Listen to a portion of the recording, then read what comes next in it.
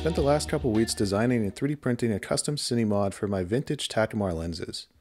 I ran into a few issues along the way and wanted to make this video to help out anyone else who's interested in taking a crack at designing and fabricating their own custom cine mods.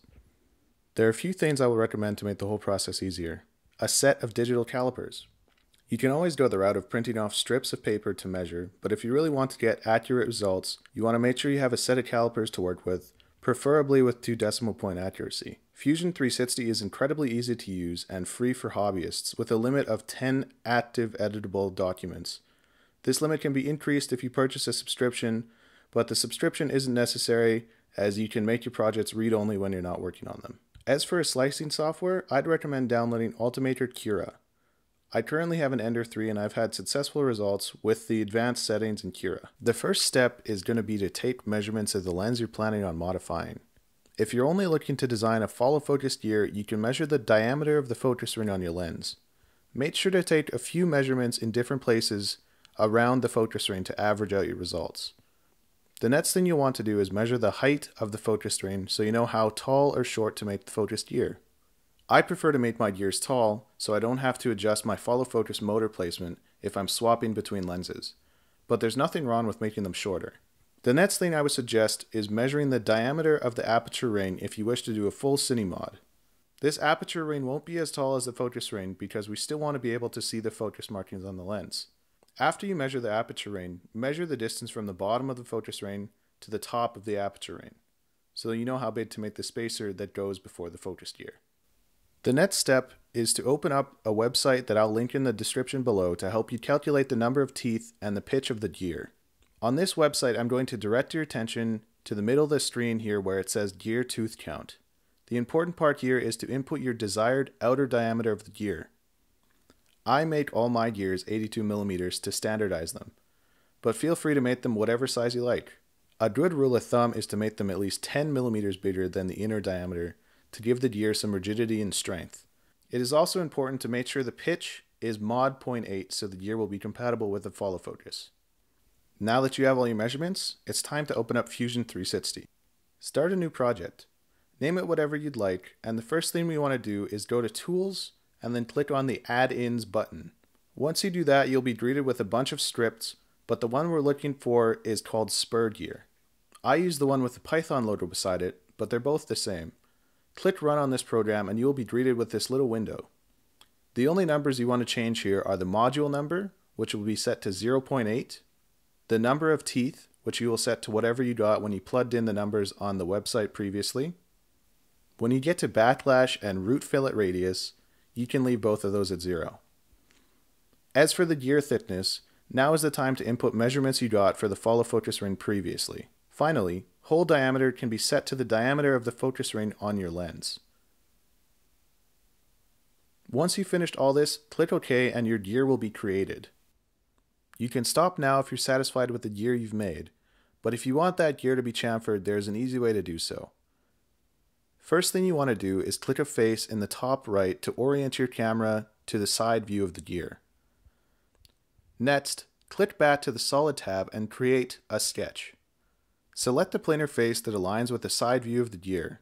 Click on the Line tool and then most importantly, click over to Line Type on the right of the screen and click Construction Line. Now what you want to do is make a straight line from the top to the bottom of the gear and intersect that line in the middle to extend out past the gear.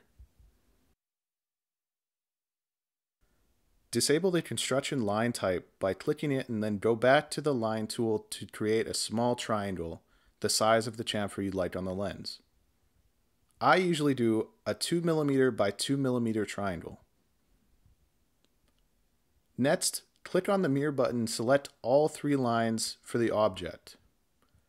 Then select the construction line you made earlier as the mirror point. Click OK, then move the triangle in towards the gear. Zoom in if you want to get exactly to the start of the teeth, and once you're finished that, click Finish Sketch. You can now temporarily disable the visibility of the spur gear on the left of the screen. Now click on both of the triangles while holding Control and open up Revolve under the Create tab at the top. Select the blue Z axis and set the angle to 360 degrees and operation to cut. You can re-enable the spur gear visibility before clicking OK to make sure it's performing the way you want it to. Click OK and the chamfer will be applied to your gear. You can stop there if you're only interested in creating the focus gear. I will be explaining how I made the aperture ring and spacer to complete the CineMod, so if you'd like, you can skip to the timestamp on the screen to get to the slicer settings for proper prints. For those of you that are interested in doing the whole process, here we go. This part is very similar to what we just went over, so I'm going to speed it up so you don't have to watch it twice. You can make the aperture ring smaller because it's going to be beefed up by the spacer, so once you get your aperture ring gear made, we're going to make use of the revolve tool again to create our spacer. So start a new sketch on a side view of the aperture ring and start by making a line straight up based off your measurements. The next part is important because you want the top part of the spacer to match up with the outer diameter of the focus ring.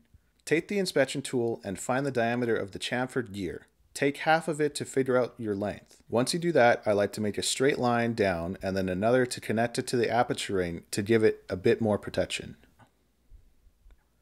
Once you're finished with that, all that's left to do is make a cutout for the focus markings and chamfer the edges and you're done.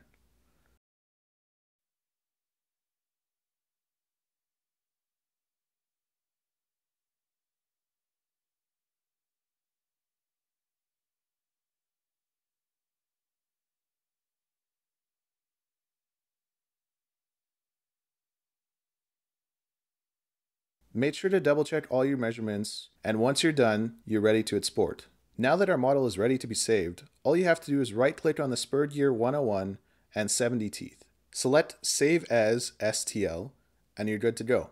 I like to keep my save settings set to binary and medium quality because that's what I found works best. The next part is where I spent most of my time figuring out and working out the kinks in the settings with my Ender 3.